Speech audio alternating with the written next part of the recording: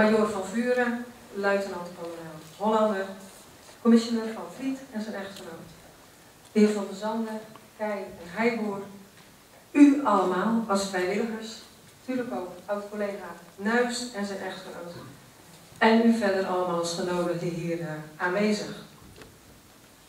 Ik ben begonnen met te zeggen, uiteindelijk is er een vaste plek gevonden. De samenwerking tussen onze gemeente Tolen en het leger des Heils dateert al van een groot aantal jaren terug. Want in 2008 bent u en de gemeente Tolen al een overeenkomst aangegaan. In Tolen, in het voormalige stadhuis in de Hoogstraat, bent u gestart met een raad- en daadbalie. Een tijdelijke oplossing. Daarna kwam in goed overleg tussen de partijen de voormalige kleuterschool in zicht aan de Radda. En u nam in 2011 het pand voor in eerste instantie het idee vier jaar in gebruik. Maar nog steeds een tijdelijke oplossing. En uiteindelijk, het is ook al gememoreerd, kwam er nog een tweede locatie buiten Sint Maartensdijk voor de grotere stukken en de woninginrichting. Het werken vanuit deze twee locaties en nog steeds tijdelijke locaties, de alsmaar grotere vraag de beperkte ruimte in het voormalige schoolgebouw, het willen uitbreiden en faciliteren, het meer kunnen en willen bieden aan de zwakkeren uit onze samenleving, waren denk ik de basisargumenten om toch serieus te gaan kijken naar een nieuwe, definitieve behuizing. We kwamen als gemeente weer in gesprek en met elkaar en op een constructieve wijze werden de voorwaarden geschapen om de grond aan te kopen en de plannen, uw plannen, verder uit te werken. Er werden afspraken gemaakt over de grondprijs en er kwam een mooi bedrag van 20.000 euro vrij uit het zogenaamde Pot Meijerfonds.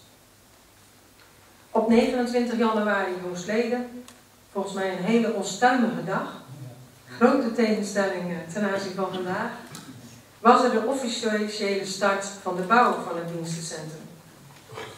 Ik en vele anderen mochten daar getuigen van zijn, van de starthandeling luitenant-kolonel een Hollander, wethouder Kees van Dis en vrijwilliger mevrouw van Gorsel-Wolsen. Duwde symbolisch een auto, en dat had alles met het weer te maken, een auto van de aannemer weg en maakte daarmee het bord zichtbaar, bouwbord, voor iedereen zichtbaar. De bouw ging van start en gaandeweg, vaak langskomende als ik langs reed, zag je het gebouw groeien en groeien. En wat een prachtig resultaat. Daar mag u met elkaar bijzonder trots op zijn. En daar zijn wij ook als gemeente trots op. Wat is er hard gewerkt door iedereen. En u zult wel getroffen zijn door de overweldigende belangstelling van de afgelopen weken. Vanuit onze gemeente Tolen en ver daarbuiten weet men uiteindelijk uw dienstencentrum Loods 3 inmiddels al te vinden. Ik zag onlangs zelfs een verkeersregelaar staan om alles in goede banen te rijden. U kunt zich geen betere start wensen. De keerzijde is natuurlijk wel dat blijkt dat hetgeen u hier aanbiedt, dat er in onze samenleving, ondanks dat gelukkig het economisch keert, dat er in onze samenleving een grote behoefte aan is. Niet alleen aan de materiële zaken, de kleding, de woninginrichting, maar ook aan ondersteuning van gezinnen, gesprekken voeren met elkaar, eenzaamheid een plekje geven, een veilige plaats bieden, een luisterend oor bieden, steun geven aan elkaar. En dat allemaal door de, door de medewerkers uit uw eigen organisatie, maar ook met behulp van de vele vrijwilligers die bij jullie actief zijn. En u zit daar allemaal. Geweldig. Bij mijn eerste kennismakingsbezoek met uw werk en op de oude locatie was dat voor mij gelijk een eye-opener. Dat zoveel vrijwilligers daar aan het werk waren en daar hun dag konden invullen. Vrijwilligers die soms zelf ook in een isolement verkeren. Of zelf ook een stukje hulp nodig hebben. En juist dat werk, dat beschutte werk binnen uw organisatie, ook hen weer een beetje helpt. Maar ook vrijwilligers die tijdelijk geen baan hebben. En via de werkervaring die ze bij u opdoen, uiteindelijk ook weer doorstromen. Ik vind het vooral bijzonder dat zowel inwoners van gemeente Tolen, met hele verschillende achtergronden, zich inzetten voor het dienstencentrum. Samen het belang zien om klaar te staan voor de ander. Op deze manier zichtbaar zijn en samenwerken. In de Tolse samenleving. Dat geeft perspectief. Samen de krachten bundelen geeft kansen. En volgens mij geeft het ook heel veel voldoening. U heeft een schitterend dienstencentrum neergezet. Een dienstencentrum waar de Tolse samenleving duidelijk behoefte aan heeft. Dat is de afgelopen jaren wel gebleken. Een centrum om ondersteuning, hulp en advies te krijgen en om mensen te ontmoeten. En wat moeten wij als gemeente dankbaar zijn dat destijds de keus op de gemeente Tolen is gevallen om uw plannen te verwezenlijken. Het had ook zomaar aan de andere kant van de brug kunnen staan. Inmiddels zijn ook het fietsenproject en computerproject gestart. Het doel van het project is dat kinderen van ouders met een laag inkomen mee kunnen blijven doen in onze samenleving. En met subsidie van onze gemeente zorgt het dienstencentrum voor goede fietsen en computers. Een mooi samenwerkingsverband, welke ook nog plaats biedt aan een reïntegratiearbeidsplaats. Kortom, een mooie win-win situatie met elkaar. Ook de nieuwe plannen voor, de maal, voor het maaltijdproject worden verder uitgewerkt. Mooie initiatieven waarin dit nieuwe gebouw de faciliteiten meer dan aanwezig zijn. En het valt en staat natuurlijk met het aantal vrijwilligers wat nodig is om het centrum optimaal te kunnen laten draaien. U zit centraal, maar u blijft een centrale rol spelen in, de verdere, in het verdere leven van het dienstencentrum. Onlangs mocht, ik, het, het, onlangs mocht ik op uitnodiging van de cliëntenraad het dienstencentrum bezoeken. En als je dan binnenkomt, dan word je stil. Stil van al diegenen die je daar bezig ziet. Stil als je ziet hoe prachtig het is ingericht. Hoe mooi het er van binnen uitziet. Schoon, geordend. Maar bovenal word je stil. Omdat je dan wederom duidelijk merkt dat het dienstencentrum, dat je gastvrij wordt ontvangen. Dat er een bepaalde sfeer ademt waarbij je je thuis voelt. Een herkenbare plaats waar iedereen van harte welkom is. Waar je je meer dan welkom voelt. Zonder aanzien des persoon. Iedereen telt mee. En waar je als persoon zichtbaar bent. Respect voor elkaar. Samenwerken. En samenwerking is uw leidraad. Daarnaast blijft u werken vanuit uw eigen visie en missie. En de naam die, voor, die u voor het dienstcentrum koos, zegt daar ook heel veel over. En uiteraard, voor wie daar open voor open staat, wil u de gids zijn en het evangelie brengen in zijn of haar leven. Loos 3 is dan ook meer dan een toepasselijke naam. Dames en heren, ik kom tot een afronding. Graag wil ik alle mensen die zich ingezet hebben en die zich dagelijks inzetten voor het nieuwe dienstencentrum Loods 3 bijzonder complimenteren met het resultaat.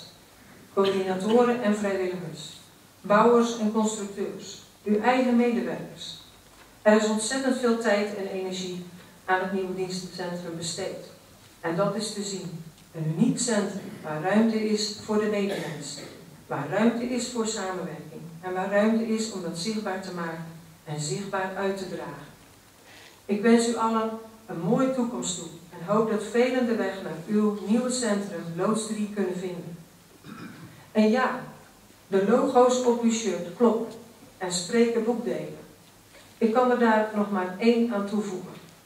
Together you are one.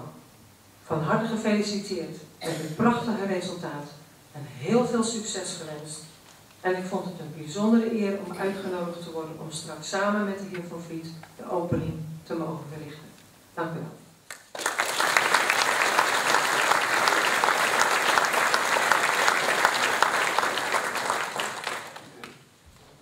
Cornel de Hollander die, eh, die memoreerde dat hij uit Limburg kwam. Heeft u nog, weet u nog?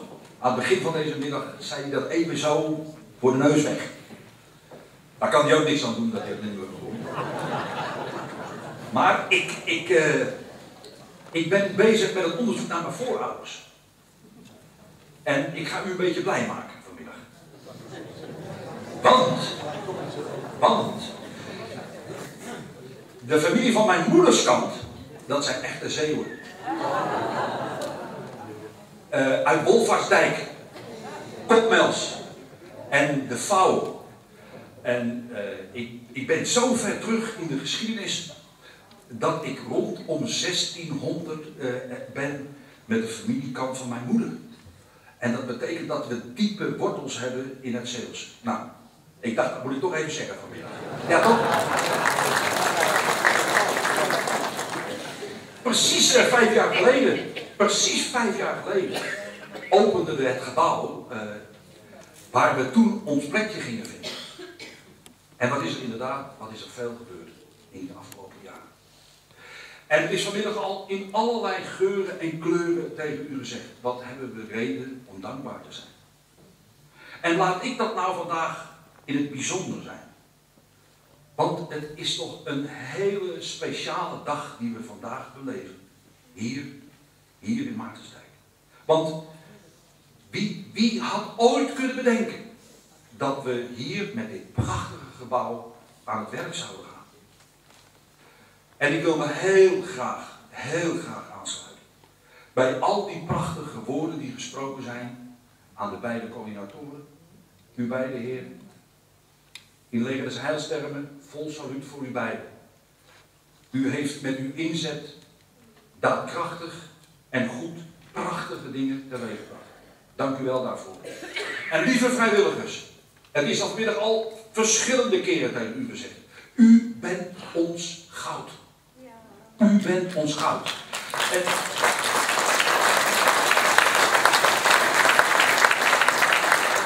en ik ben trots op u en ik waardeer uw inzet heel erg sterk. Het feit dat u er bent, dat u tijd vrijmaakt, dat u bezig wil zijn met anderen, dat u, dat u daar zelf ook van genieten mag. En ik hoop dat u dat nog heel lang mag blijven doen. En wat al reeds uh, uh, gezegd is, het werk, het werk stopt niet. Er is nog zoveel te doen.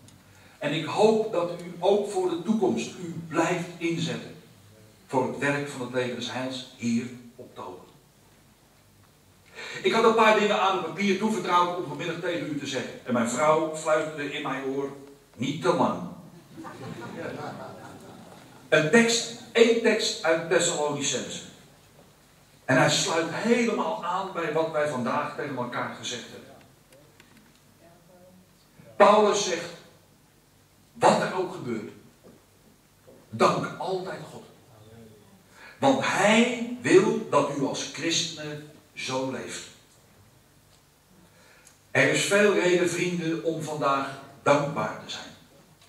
Om elkaar nog eens in de ogen te kijken en tegen elkaar te zeggen: laten we blij zijn met wat tot stand is gekomen.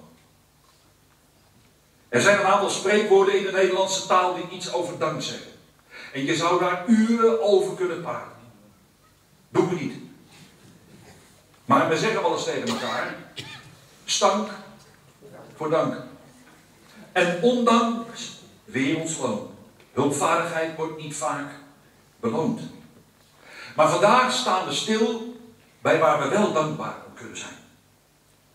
Vandaag tellen we onze zegeningen.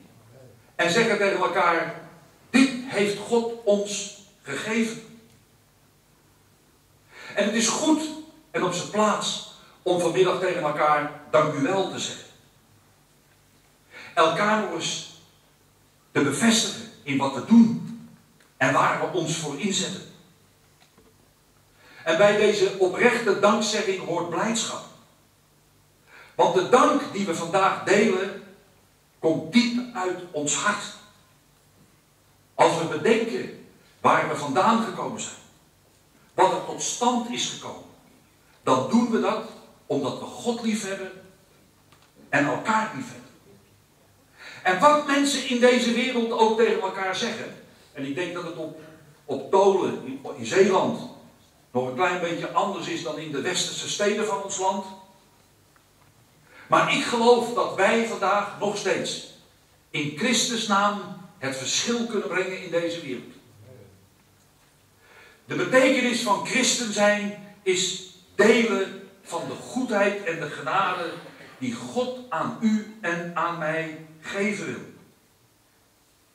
En soms vergeten we onze zegeningen te tellen.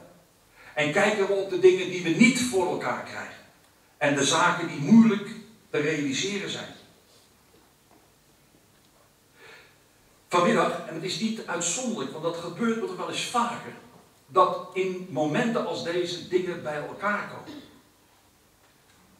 En ook ik heb een citaat van Bonhoeffer. De bekende Duitse predikant. Hij heeft gezegd: Dankbaarheid verandert kwellende herinneringen in een stille vreugde. Als het oog gericht is op Christus Jezus, die ons tot hiertoe geholpen heeft. Dankbaarheid is voor de ziel wat de ruitenwisser is voor de auto. Een klein gedichtje tot slot. Is de zon door de wolken bedekt, zie je nergens een streepje blauw. Is je ziel door zonde bevlekt en lijkt alles triest en grauw. Gaat alles wankelen, loopt alles scheef. Ga dan God bedanken voor alles wat bleef. Niets houdt het venster van je ziel zo blank als elke dag een hartelijk dank. Dankbaarheid maakt onze ziel schoon. Waar de echte dankbaarheid ontbreekt, gaat het uitzicht verloren. En raken we het spoor bijster. Vandaag nogmaals, oprechte dank voor alle die deze dag mogelijk gemaakt hebben. Ik bedank ook al die mensen die achter de schermen in de stilte hun werk doen. Die zie je soms niet, maar ze zijn er wel. Ik wil vandaag tegen jullie allemaal en tegen jullie hier zeggen, jullie zijn toppers. Toppers, echte toppers. En vandaag zeggen we tegen elkaar, we geven niet alleen elkaar de eer, maar we geven ook God de eer. En zeggen tegen de Heer in de hemel, dank u wel voor de kansen en de mogelijkheden. En het is gezegd, en daar wil ik mee afsluiten, er ligt een mooie toekomst voor ons in het verschiet. Want de Heer is met ons.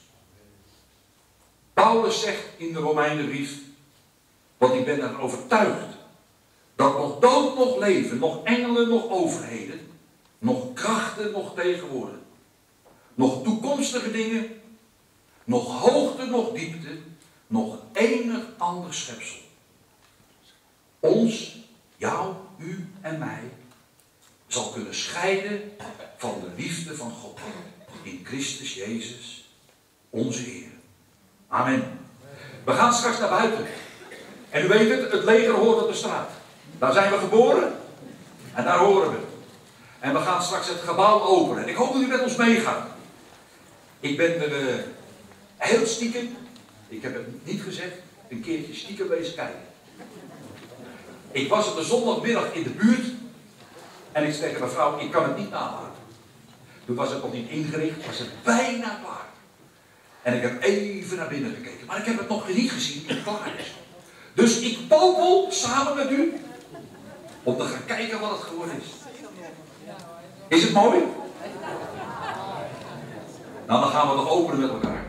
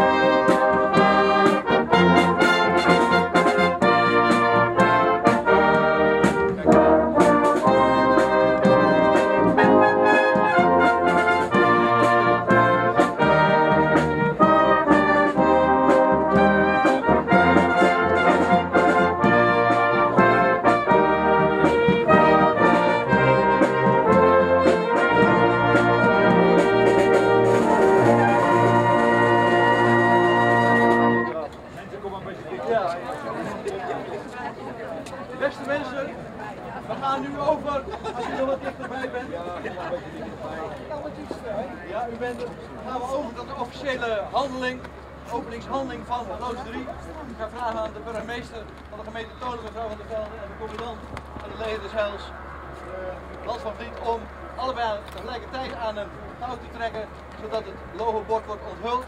Maar om dat tegelijkertijd te laten gebeuren, stel ik even voor dat we even aftellen van 10 naar beneden.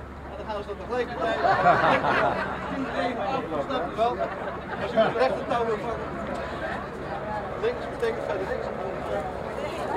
Betekent verder niks. Uh, ja, dan gaan we.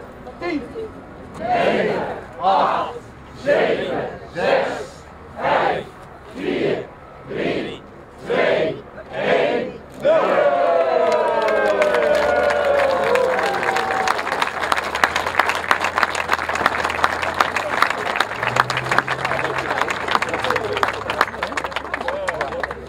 Dat was geen verrassing, maar toch een mooi woord. Bedankt, bedankt. Mag ik u uitnodigen naar de plaket? Als die goed is, hangt hij nu. Is er wel? Heel veel. Hier is het plaket. Mooi.